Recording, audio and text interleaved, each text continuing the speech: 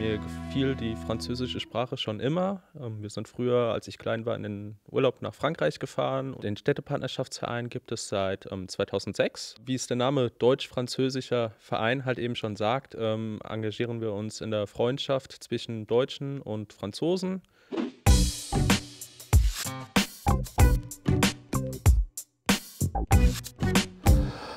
L'amitié franco-allemande, le jumelage entre nos deux villes, me replonge dans les odeurs de mon enfance que j'ai passée en partie en Allemagne, à Rastatt, dans le Bad-Württemberg. Des souvenirs gravés dans ma mémoire parmi les plus beaux et les plus doux. L'Allemagne est ma deuxième patrie.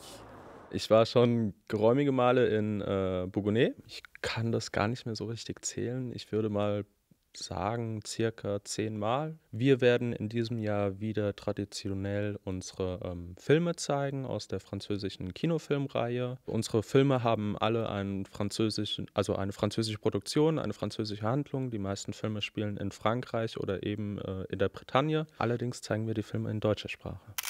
Dieses Jahr freue ich mich besonders auf das 30-jährige Jubiläum, welches wir in Bourgogne feiern werden. Je me réjouis de la participation des chorales allemandes pour pouvoir vivre en musique l'harmonie franco-allemande lors du jubilé avec les chefs de chœur. Et par la suite, de susciter d'autres échanges musicaux et de voir créer peut-être un festival des chœurs franco-allemands dans les pays de la Loire. Im letzten Jahr haben wir unser 100.